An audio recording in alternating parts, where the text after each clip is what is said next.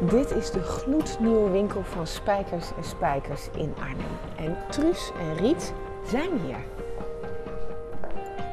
Inge, Truus. hi. En eh, je zus? Hi, Hi, Riet. ik ben Inga. Wat leuk dat jullie ons even eh, ontvangen in jullie winkel. Wat een mooie plek zeg. Ja, we zijn er ook heel blij mee. Hoe is het om je eigen winkel te hebben?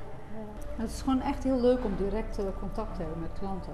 Je krijgt heel veel waarde. Dat had je eigenlijk niet. Nee, wij noemen het high design. High design. couture is het niet. Is het niet? Oké. Nee. Dus maken een serie en couture is een stuk voor iemand. Ehm, spijkers en Spijkers is dan high design, maar jullie hebben nog Ja, een dat is eigenlijk omvattend voor alles wat we Precies, ja. doen. Ja, dat zijn wij. Ja.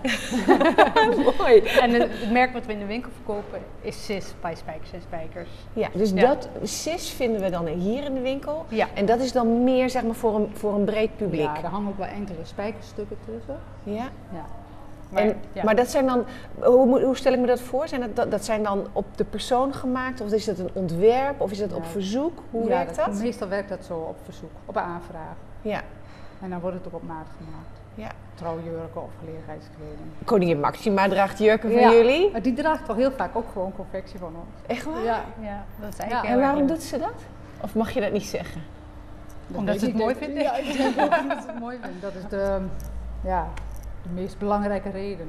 En hoe is het dan dat, eh, dat onze koningin... Het lijkt me te gek dat de koningin Ja, zeg maar je, jouw ontwerp draagt. Ja. Ja, dat weet je ook niet van tevoren hoe leuk dat is. Ja, het is eigenlijk een heel leuk verhaal hoe het eigenlijk begonnen is met dat uh, Maxima voor het eerst iets van ons doet. Hoe dan? Want het was toen uh, Willem-Alexander koning werd, toen was er een meet en greet in de provincie Gelderland en wij mochten ook handjes schudden. En wij hadden een cadeautje voor haar mee- meegenomen. Wat natuurlijk helemaal niet mag. Dat mag niet, maar dat hadden we wel gedaan. We dachten, ja, dat is een leuke kans. Ja. Dus dat hadden we aan haar gegeven. En dus verdween ook met iemand mee. Dus was wel heel blij Oh, mee, maar we dachten, dat horen we niet meer van. nee, precies. Nee, dit was het dan. En Tot, eh, ja, toen kregen we echt een paar maanden later kregen we een telefoontje van haar assistent. Ja. Ze zei, het is zo leuk, ik heb hier twee dezelfde jurken. Eentje die, die jullie aan Maxima gegeven hebben en eentje die ze zelf besteld heeft. Ach, dat meen je De ene past niet, die had ze ergens besteld op internet. En die andere hadden wij haar gegeven en die paste wel. En jullie, want jullie Maar hadden ze waren goed hetzelfde. gekeken. Ja, hetzelfde, Oh, ja, hetzelfde. ja. Precies dezelfde jurk, dezelfde kleurstelling. Oh, Dat is heel grappig. Hij hangt hier in de etalage trouwens. Ja, welke dan? Oh, wauw. Ja, dan mag je natuurlijk niet vertellen wat haar maat is, maar jullie hadden dat wel gewoon goed in de peiling. Ja. Ja, maar dat is dus jullie Nou ja, vak en dat is ja, ook jullie, dat jullie is expertise. ja, dat, dat is mooi, hè? Ik bedoel, Ja, daar moet je wel het- oog voor hebben. Ja. Dat is wel zo. Dit jurkje is misschien, het ziet er vrij eenvoudig uit. ja. Nou ja, nou, ik zeg ja, maar dat, dat vind ik niet hoor. Nee, maar ik denk dat dat een getraind oog ziet pas wat daar gebeurt. Want een schouderband, een schouder is schuin. En die band die is zo gesneden dat hij aan de achterkant recht loopt. Ja, het is best lastig uit te leggen, maar je zit geen naadje op de Helemaal omdat ze beweegt, hè? Ja. Ja. ik vind het gewoon ook leuk dat... eh, Nee, maar de meeste kledingstukken wilt- hebben naad op de schouders. Ja, En dat, precies. Dat eh, heeft moet het, niet. Nee. dat band, die band precies in een bepaalde hoek, Hoek hebben, anders Om- hangt hij niet goed op je schouder. Nee, Ja. Ik snap niet. het. Dat soort dingen vind ik echt heel leuk om te doen. En met een spaghettibandje werkt dat nog wel, maar met zo'n brede band Nee. moet je er echt wel... En ook die strik die zit het helemaal geïntegreerd in de, in de jurk. Ja. Het is er niet opgeplakt. Het is een onderdeel van de jurk. Dat soort dingen vind ik Oh, ja, ja, om te. En dan denk jij na over de kleuren ja, het en de totaalbeeld. En het, ga- het is niet alleen, want als je één jurk maakt voor iemand is het nog niet zo moeilijk. Maar het moet ook van maat 36 tot maat 46 mooi zijn. En dat is een groot verschil, want als je zeg maar hè, eh, eh, grote borsten hebt, dan, dan valt zo'n koeknaad alweer heel anders. Ja, je hebt wel grenzen. Ik bedoel, tot maat 46 kan je nog wel gewoon dat soort dingen maken. Maar de jurk wordt per maat 4 centimeter breder en maar 1 centimeter langer. Dus je moet met die verhoudingen wel iets Ja, doen. ik snap het. En dat Ja. is ook waar het om gaat, hè? want hier gebeurt het. Ja. 2001 ben je echt Ja, begonnen. ja. Toen hebben we de naam Spijkers van Spijkers aan ons label gegeven. Ja, dus, Ja. dus dat is eh, nu bijna 18 jaar. Ja.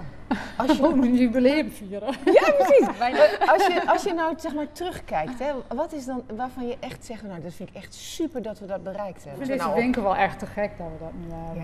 Ja. Ja. Ik vind de plek ook echt heel mooi. Het is een leuke straat, het is mooi op een hoek, we hebben Ja, heel veel in- etalage. In de Koningsstraat, je zit echt in de hartje. Koningsstraat. Ook nog. Ja. Dus je zit echt hartje centrum. Ja, heel erg mooi. Ja, dit is hartstikke leuk. Wat is dan het volgende project? Nou ja, we zijn bezig met mannen Ja, dat kleding. Echt waar? Ja. Ja. Oh, wauw. Maar daar hebben we nog niets van gezien, hè?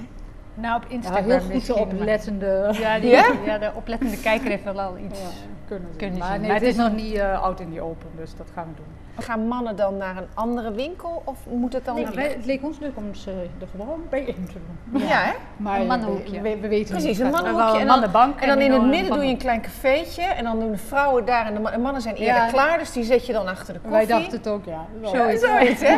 Het moet wel een plek zijn waar een soort van lifestyle of eh, ja, atmosfeer is waar je bij wil horen. Ja, Dat is Prettige ik waar- plek, ja. Ja, waarom Precies. mensen je kleding aantrekkelijk vinden. Kijken kost niks. Precies. En dingen passen kost toch niks. Hoe is het om zeg maar zo wereldwijd bekend te zijn?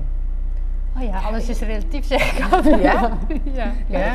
Ja, het is net zo waar leuk om hier te zijn. Ja. Ja. Ja. Ja, precies. Misschien nog wel leuker. Maar je wil Ik gewoon mensen bereiken. Zal ik je wat leuks laten Ja. zien? Of mag ik dat niet laten zien op briefje? Lieve vrouwen, ik heb eindelijk een mooi cis-item gekocht. Ik had de tranen in mijn ogen, dit heb ik nog nooit zo ervaren. Alleen daarvoor al mijn dankbaarheid. Jeetje, wat mooi. Ja, dat krijg ik ook, dat snap ik. Ja. Wat geweldig. Dat is gewoon waar je het voor doet. Ja, Ik- En je weet nog wie, wie die vrouw ja is? ik weet wie het is.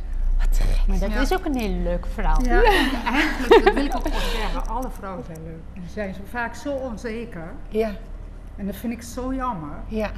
Echt voor iedereen hebben we wel iets wat, Ja, wat dus, mooi maakt. en dat komt doordat wij altijd vinden dat we, Ja, dat we in, dat, de- in dat, dat hele slanke eh, vrouwbeeld moeten Ja, passen. dat dat hoeven we echt niet. Daar dat moeten we vind ook ik- echt met z'n allen eens vanaf, want echt iedereen heeft iets leuks. En als Ja. je dat gewoon laat zien wat leuk aan je is.